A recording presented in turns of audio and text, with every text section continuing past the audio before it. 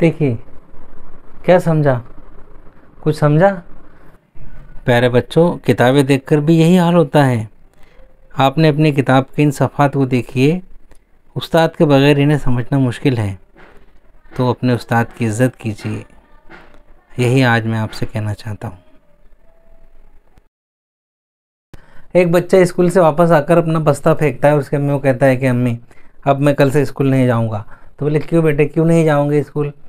तो बोले, टीचर ने सारी आसान आसान मिसालें हल कर दी और मुश्किल मिसालें हमको घर काम में दे दी। कुछ ऐसा ही हमारे छठे सबक कोतनुमा में शायद आप बच्चों को लग रहा होगा कि यहाँ पर जो मिसालें दी हुई हैं, सब हो गया, पूरा पूरा हिस्सा आपने आसानी से पढ़ लिया।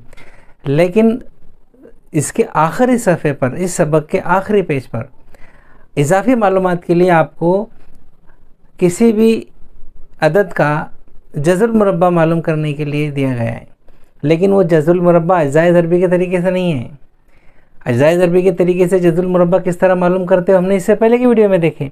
लेकिन इस वीडियो में अब हम ये देखेंगे कि किसी अदद का जजुल मुरबा तकसीम के तरीके से कैसे मालूम करते हैं। तो चलिए देखते हैं। हमें सबसे पहले एक से दस तक के आदाद और उनके मुरबे मालूम होना चाहिए जैसे यहाँ पर देखेंगे हम कि एक का मुरबा एक दो का मुरबा चार तीन का मुरबा नौ चार का मुरबा सोलह पाँच का मुरबा पच्चीस छः का मुरबा छत्तीस सात का मुरबा उनचास आठ का मुरबा चौंसठ नौ का मुरबा इक्यासी और दस का मुरबा सौ ये मुरबे हमको याद होना ज़रूरी है ये मुरबे याद होने के बाद या ये हमारे सामने होने के बाद ही हम आसानी से इस मिसाल को हल कर सकते हैं अब हमारे सामने जो मिसाल दी हुई है, वो देखेंगे। नौ हज़ार आठ सौ एक का तकसीम के तरीके से जजरुल मुरबा मालूम कीजिए। इसके लिए हम सबसे पहले ये करेंगे कि जिस अदद का हमें जजुल मालूम करना हो वो अदद यहाँ लिखने के बाद उसकी दो दो आदात की दो दो करके जोड़ियाँ बना देंगे जैसे यहाँ इकाई तरफ़ से इकाई दहाई की एक जोड़ी और सौ हज़ार की एक जोड़ी, इस तरह से हमने दो दो की जोड़ियाँ बना दी। सबसे पहले हम एक जोड़ी लेंगे यहाँ पर। ये लिए हमने एक जोड़ी 98 अब देखना है कि अट्ठानवे इन मुरबों में अट्ठानवे किसके करीब है?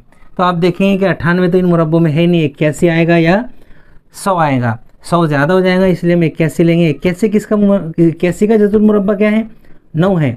तो यहाँ पर हम लेंगे नौ और यही यहाँ पर भी लिखेंगे नौ। नौ नाम इक्यासी। अब यहाँ लिखेंगे हम इक्यासी।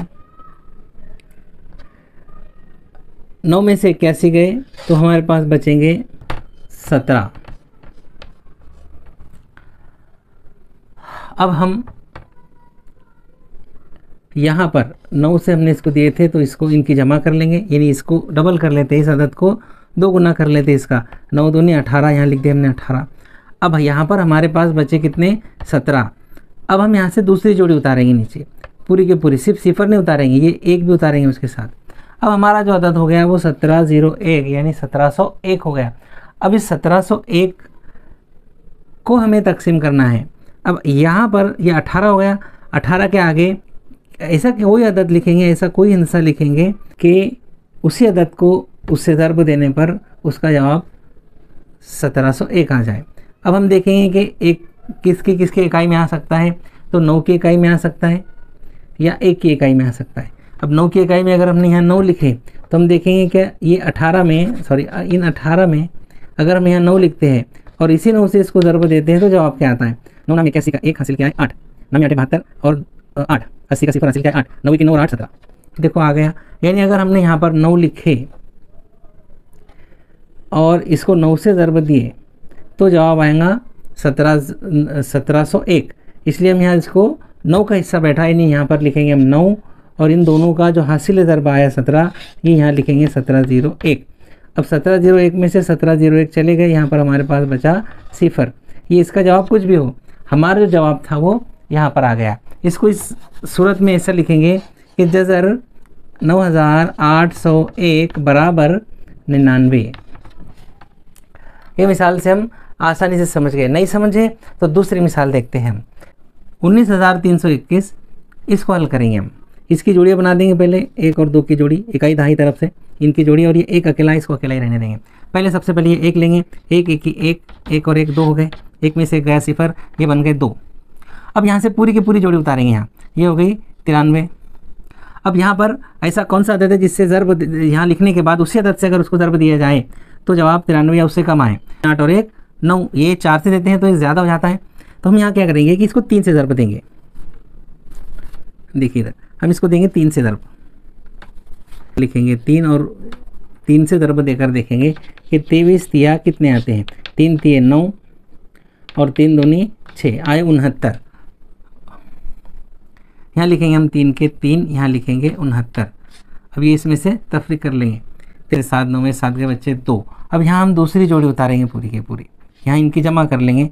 तीन न तीन छः और दो के दो। यहाँ दूसरी जोड़ी उतारे हमने इक्कीस। इस, इसको समझने की कोशिश कीजिए। अब यहाँ पर हमें ऐसा अदद लिखना है कि जिसका जवाब जिसका ज़रब करने के बाद उसी अदद से ज़रब करने के बाद जवाब ये आना चाहिए। अब हम देखते हैं कि यहाँ पर हम अगर ये इस, इसको आसानी से समझने के लिए इस बात पर ध्यान देंगे कि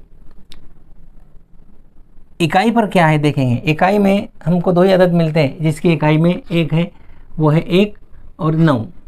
तो हम देखेंगे यहाँ पर अगर हमने नौ लिखे तो नौ से दो, सिक्स छः नौ, ज़रब नौ। नौ नाम इक्यासी का एक, हासिल किया है आठ। नौ छक्के चौपन और आठ बासठ। हासिल क्या है छः नौ दूनी अठारह और छः चौबीस। हमारा जवाब आ गया। तो यहाँ हम क्या करेंगे कि इसको नौ का भाग बैठेगा। यहाँ लिखेंगे हम नौ। यहाँ नौ में नौ। और इनका जो हासिल ज़रब आया, इनका जो हासिल ज़रब आया वो यहाँ लिखेंगे। चौबीस सौ इक्कीस। नौ नौ और नौ अठारह के आठ हासिल का आया एक। ये इससे हमें कोई लेना देना नहीं। यहाँ पर जो बच गया अदद सिफ़र। और हमारा जवाब आया वन थ्री नाइन या एक सौ उनतालीस। इसका मतलब ये हुआ कि जज़र उन्नीस हज़ार तीन सौ इक्कीस बराबर एक सौ उनतालीस।